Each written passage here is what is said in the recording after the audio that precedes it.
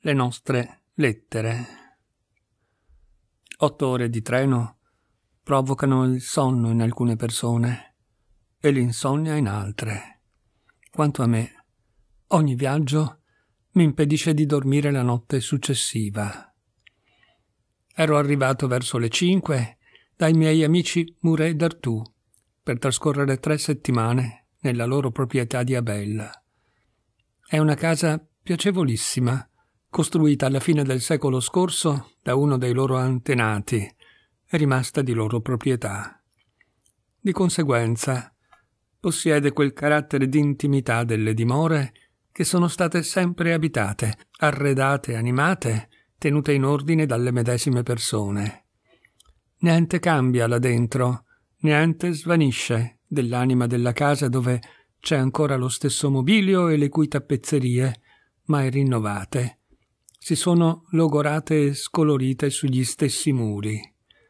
Nulla dei mobili antichi va perduto, spostati solo ogni tanto per fare posto a un oggetto nuovo, che entra lì come un neonato, fra sorelle e fratelli. La casa è su un'altura, in mezzo a un parco, in un pendio che scende fino al fiume, su cui è gettato un ponte di pietra a schiena d'asino.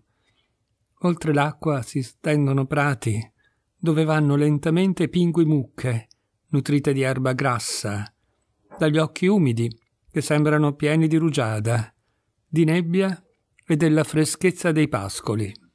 Mi piace questa abitazione, come tutto quello che desidero ardentemente di possedere. Vi torno ogni anno con infinita gioia. La lascio con rimpianto dopo aver pranzato con quella famiglia di amici, così tranquilla e che mi riceveva sempre come uno di loro, domandai al mio compagno Paolo Murray quale camera m'hai assegnato quest'anno? La camera di zia Rose. Un'ora dopo la signora Murray d'Artù, seguita dai tre figli, due ragazze e un indemoniato ragazzino, si installava nella camera della zia Rose, dove non avevo ancora mai dormito. Quando vi rimasi da solo, cominciai a esaminare le pareti, i mobili, a ritrovare la fisionomia della stanza per adattarvi il mio stato d'animo. La conoscevo già, ma poco, soltanto per esserci entrato qualche volta e per aver osservato con indifferenza il ritratto a pastello di zia Rose, che dava il nome alla camera. Non mi suggeriva proprio niente quella vecchia zia Rose, dalla pettinatura a boccoli, sbiadita e quasi cancellata dietro il vetro. Aveva l'aria di una brava donna d'altri tempi, d'una donna piena di buoni principi e di sani precetti, abile nell'enunciare una massima morale come una ricetta di cucina. Una di quelle vecchie zie che paralizzano l'allegria, e sono l'angelo rugoso e triste delle famiglie di provincia. E del resto non avevo mai sentito parlare di lei. Non sapevo niente della sua vita né della sua morte. Era di questo secolo o di quello precedente. Aveva lasciato questa terra dopo un'esistenza piatta o agiata. Aveva reso al cielo un'anima pura di vecchia zitella, un'anima placata di sposa o tenera di madre, o scossa dalla passione. Che cosa poteva importarmi? Soltanto quel nome, zia Rose, mi sembrava un po' ridicolo, troppo comune grossolano. Presi un candelabro per osservare il volto severo appeso in alto, in una cornice antica di legno dorato. Poi, dopo averla trovata insignificante, sgradevole, persino antipatica, esaminai il mobilio erano tutti dell'epoca di Luigi XVI, della rivoluzione e del direttorio. Niente, nemmeno una sedia, nemmeno una tenda era arrivata dopo di allora in quella camera che odorava di ricordi. Un odore sottile del legno delle stoffe, dei sedili, delle tappezzerie, in un ambiente dove un cuore ha vissuto, ha amato, ha sofferto. Poi mi coricai ma non riuscii a prender sonno. Snervato, decisi di alzarmi dopo un paio d'ore, di scrivere qualche lettera. Aprii un piccolo scrittoio di mogano listato di ottone, situato tra le due finestre, con la speranza di trovarvi carta e inchiostro. Ma vi rinvenni solamente una cannuccia molto consumata, fatta con un aculeo di porcospino e un poco mordicchiata a una delle estremità. Stavo per rinchiudere il mobile quando il mio sguardo fu attirato da un punto lucente. Era una specie di bottone, giallo, che formava un piccolo rilievo rotondo nell'angolo d'una tavoletta. Lo grattai con un dito e mi sembrò che si muovesse. Lo presi tra le due unghie e tirai più che potevo. Uscii piano piano. Era una lunga spilla d'oro, insinuata e nascosta in un fiorellino del legno. Perché? Pensai subito che doveva servire a far scattare la molla con cui si apriva un ripostiglio segreto e mi mise a cercarlo. Fu una cosa lunga. Dopo due ore di investigazioni scoprì un altro fiorellino quasi di fronte al primo, ma in fondo a una scanalatura. Vi affondai la spilla e una tavoletta mi saltò in faccia. Vidi due pacchettini di lettere, di lettere ingiallite, legate con un nastro azzurro. Le ho lette e ne trascrivo qui due. Dunque, diletta mia. Se volete che vi renda le vostre lettere, eccole, ma con grande pena. Di che mai avete paura? Che le smarrisca? Ma sono sempre sotto chiave. Che me le rubino? Ma io le tengo d'occhio, perché sono il mio tesoro più caro. Proprio. Ho provato una pena infinita. Mi sono domandato se non ne avevate in fondo al cuore qualche rammarico non già il rammarico di avermi amato, poiché so che mi amate sempre, ma il rammarico d'aver espresso su un foglio bianco questo amor vivo, in ore nelle quali il vostro cuore si confida non a me, ma alla penna che tenevate tra le dita. Quando si ama si sente il bisogno delle confidenze, un tenero bisogno di parlare o di scrivere, e parliamo e scriviamo. Le parole volano, le dolci parole fatte di musica, d'aria e di tenerezza, calde, leggere, evaporate non appena dette, che rimangono nella memoria soltanto, ma che non possiamo vedere, né toccare, né baciare, al contrario delle parole che furono scritte dalla nostra mano. Le vostre lettere. Sì, ve le rendo. Ma quanta pena. Certo, dopo averle scritte, Avete avuto il delicato pudore dei vocaboli incancellabili. Nel vostro animo sensibile e timoroso anche una sfumatura impercettibile basta a ferire. Avete deplorato di aver scritto a un uomo che lo amavate. Vi siete ricordata qualche frase che ha colpito le vostre rimembranze e vi siete detta di quelle parole farò tanta cenere. Siate paga, siate tranquilla. Ecco le vostre lettere. Vi amo.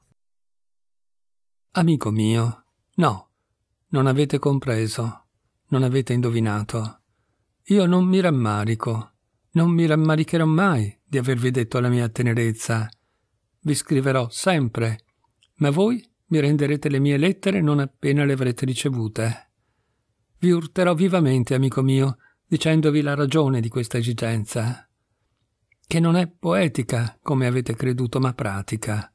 Ho paura, non certo di voi, ma del caso. Sono colpevole e non voglio che il mio fallo possa essere scontato da altri all'infuori di me. Comprendetemi bene. Potremmo morire io o voi. Potreste morire per una caduta da cavallo, dal momento che cavalcate ogni giorno. Potreste morire d'un colpo, in un duello, per una malattia di cuore, per un incidente di carrozza, in mille modi, poiché se c'è una morte soltanto, vi sono più modi di soccombere che non giorni da vivere. Allora vostra sorella, vostro fratello e vostra cognata troverebbero le mie lettere. Credete che mi vogliano bene? Io non lo credo affatto. E poi, anche se mi adorassero, è possibile che due donne e un uomo, conoscendo un segreto, un segreto simile, non lo propalino ho l'aria di dire una bruttissima cosa, parlandovi anzitutto della vostra morte e sospettando poi la indiscrezione dei vostri. Ma noi tutti moriremo un giorno o l'altro, è vero? Ed è quasi certo che uno di noi due precederà l'altro nella tomba. Bisogna dunque prevedere tutti i pericoli, anche questo.